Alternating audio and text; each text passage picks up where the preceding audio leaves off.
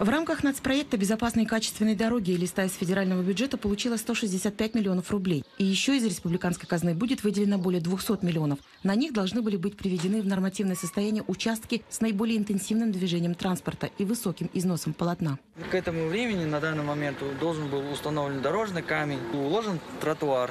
Иванов продолжает, что согласно контракту работы по улице 8 марта, как и на остальных пяти участках в листе, выполняло предприятие «Ростов-Автодор». Их должны были завершить еще до 1 июня, но этого не произошло. Администрация города потребовала подрядчика устранить собственные недоработки и за прошлый год на некоторых улицах Элисты, где велась реконструкция, а именно отсутствие пандусов, окраски пешеходных ограждений, асфальтобетонного покрытия на тротуарах. Основная претензия заказчика к подрядной организации заключается в том, что работы ведутся с большим отставанием от графика и ряде недочетов по качеству выполненных работ. Если в течение недели они не справятся, мы просто прекратим контракт и разыграем конкурс с другим подрядчиком. Вот и все. Но, тем не менее, у них есть шанс исправиться. Погода позволяет, условия есть. Еще раз повторю, средства для этого все необходимые есть. Поэтому все в руках подрядчиков. Это все касается не только конкретной организации.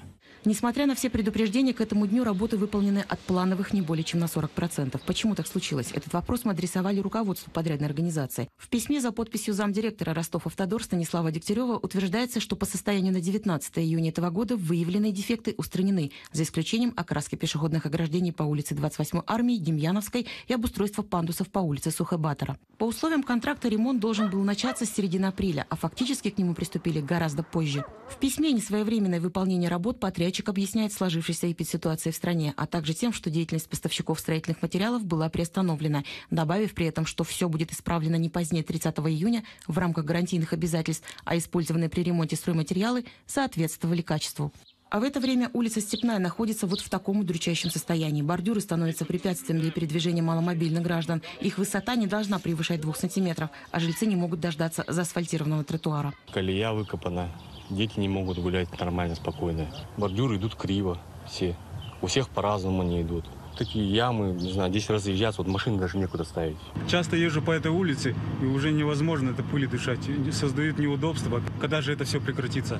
Ремонт городских дорог является частью национального проекта, а к их качеству пристальное внимание. Соответственно, требует мониторинга на всех этапах строительства, говорит руководитель регионального штаба ОНФ Батр Миргульчиев. В связи с снятием режима самоизоляции мы приступим к работе по мониторингу и в ближайшее время проведем большой мониторинг по прошлогодним дорогам и по дорогам этого года. Видно, что есть э, проблемы по качеству выполнения работ.